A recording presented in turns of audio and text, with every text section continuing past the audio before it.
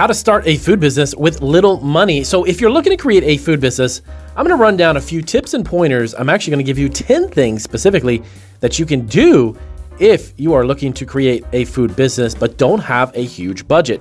My name is Damian Roberti. I am the founder and CEO of Marketing Food Online. Welcome to my channel. My wife and I are food entrepreneurs. We have been for a little over 13 years now. I've uh, been in the food industry for 30 plus years and operate million dollar businesses online. We've sold over $1 million in snacks, baked goods, and candies on our, on our Amazon store alone. And I have been online on e commerce for a couple of decades now. So let me dive down into some things that I've learned over the time that I've started my food business. I have actually made some good decisions.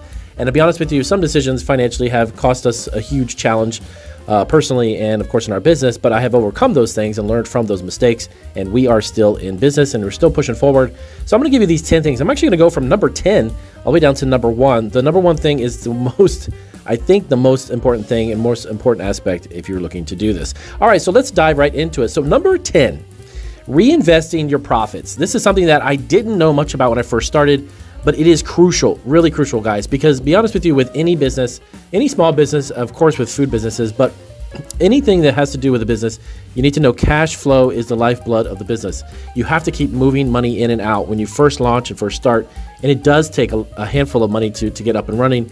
Now, this can be dependent upon the type of food business you want to do, but no matter what it is, reinvest your profits. So, long term plan, you want to plow back initial profits into the business to fund gradual expansion rather than actually like seeking large loans, which is actually something I did, to be honest with you. I actually used credit cards, and that was probably not the best uh, decision I made because you got to keep in mind if you use loans to start a food business, the thing of it is, is that if it doesn't pan out, you're still responsible for those loans or the credit card bills and anything that you're obviously borrowing, you have to pay back, whatever it might be, you still owe that money. So plowing, putting profits that you're actually making back in will help you kind of eliminate the need for seeking outside investments to start. Okay.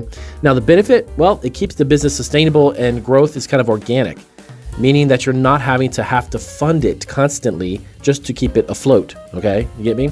So reinvesting your profits is number 10. Number nine, collaborate and barter. Yes, believe it or not, the idea of bartering has been around for centuries, believe it or not. But you know, the idea of borrowing or giving someone a service or a product for them to give you a service or product in exchange, you know, the strategy. Okay, how does this work? So partner with other small businesses for mutual benefits. For example, like you could supply desserts to a local business um, supplying desserts to a local business in exchange for promoting their brand. So by promoting their brand and giving them kind of exchange of maybe if you're doing desserts, for instance, a bakery of some kind or something like that, you can actually help local businesses in exchange for promoting your product through their restaurant. Okay. What's the benefit? Well, it reduces costs and increases exposure.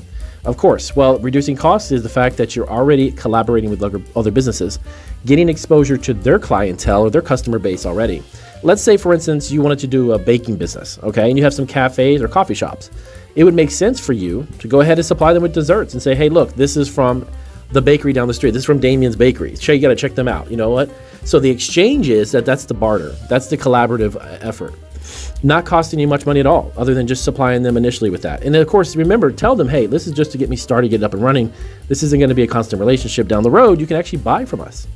Number eight, maximize pre sales and crowdfunding.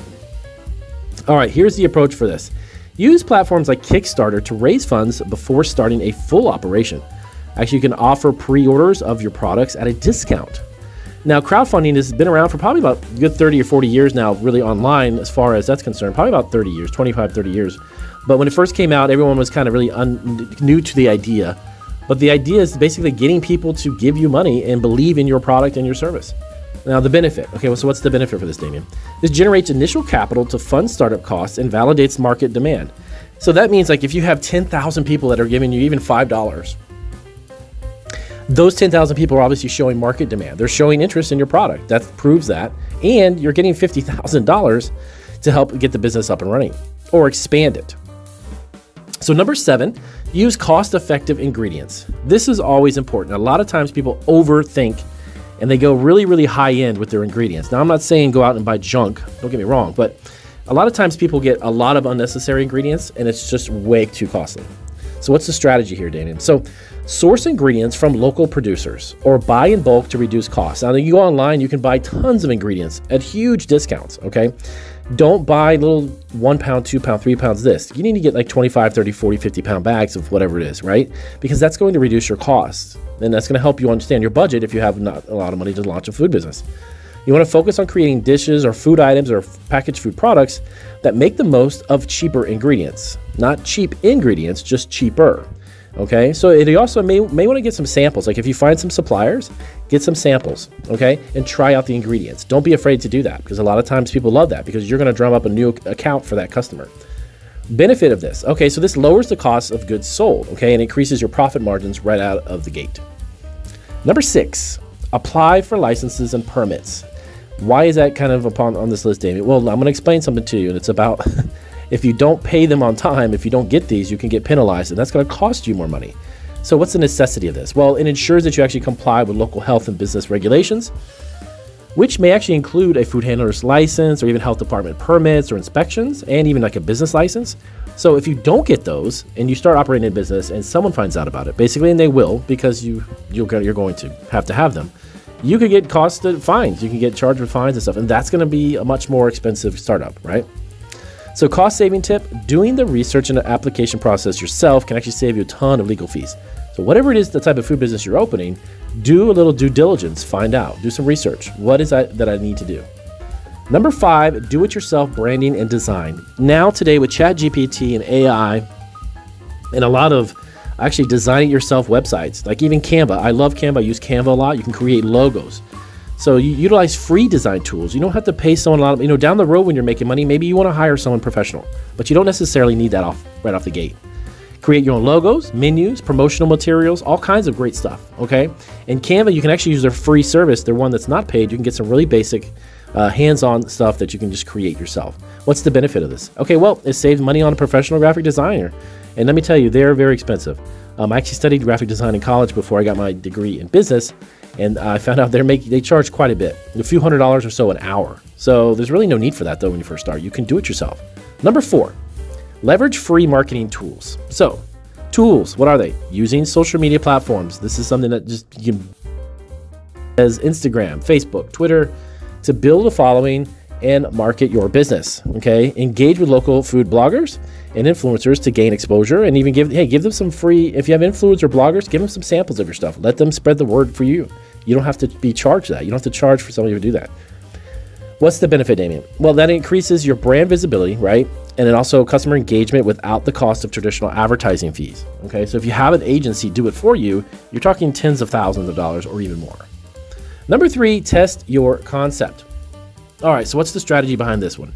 So, testing the concept. So, you want to start small with a limited range of products, test them in local markets, maybe even like a pop up food pop up event, or even through small scale catering events if you, if you want to get into catering. This is a great way to test the idea. You'll get feedback. Okay, so what's the benefit? This is exactly what I was going to say. Allows you to gather customer feedback without a significant initial investment. So again, you don't have to put out thousands of units to get tens of thousands of feedbacks and responses to your website or maybe on your blog. Just get some local people to give you some ideas of what it tastes like, the goods and the bads, if they like, if they don't, what's the packaging like, and then that feedback is worth its weight in gold.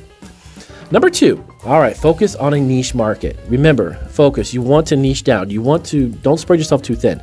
Don't offer, if you want to get into a seasoning business, spice business, let's say, don't get into it and think that you're going to have 12, 13, 14, or two dozen different types. Just get a couple of them under belt and start with that. So the strategy behind this is basically identifying that niche market with the specific needs that are not being fully met by an existing business. Now this could be like vegan snacks, maybe uh, gluten-free desserts, which is actually a huge, huge market, ethnic cuisine and such. The benefit of this actually is a well-defined niche can actually re reduce your competition and actually allow you for a premium pricing on your products. That's something that um, focusing on that niche market can do. All right, so we've come to number one, all the way down to number one. And remember, if you need some help, by the way, I do offer consulting. I'll have a link down below this video if you need a one hour consult with me. You can actually talk to with me directly. I've actually helped launch over 800 food businesses since 2017. And I'd be happy to help you out and assist you any way that I can. So, number one is choose a low cost business model. All right, so what does this mean? So, what are the options for this, Damian? Well, is I consider starting with a model that requires less upfront investment, such as home based or even catering businesses. A food cart, if you want to just do something mobile instead of a food truck, try a food cart first. Pop up event instead of like a huge retail market, or even local markets and events that you can actually put your food or product out there. What's the benefit to this, Damian? Well, reduces the need actually for like a physical storefront. When I started my bakery business, I actually did that. I got a brick and mortar and it was very expensive. I should have probably tried to do some pop up stalls and food carts, but I don't look back at it like that. I just learned a lot from what I did because the benefit is actually the physical storefront, which can be one of the largest expenses you won't need. Okay? So, starting a food business with limited financial resources can definitely be a huge challenge, guys, but it's definitely possible. A little bit of careful planning, some strategic decision making, and, and basically following the steps that I just mentioned, you definitely can have a chance at making it work. So, if you have questions about this, if you're on a budget or if you started a food business on a budget, let us know in the comments section. And I'll see you guys on our next video.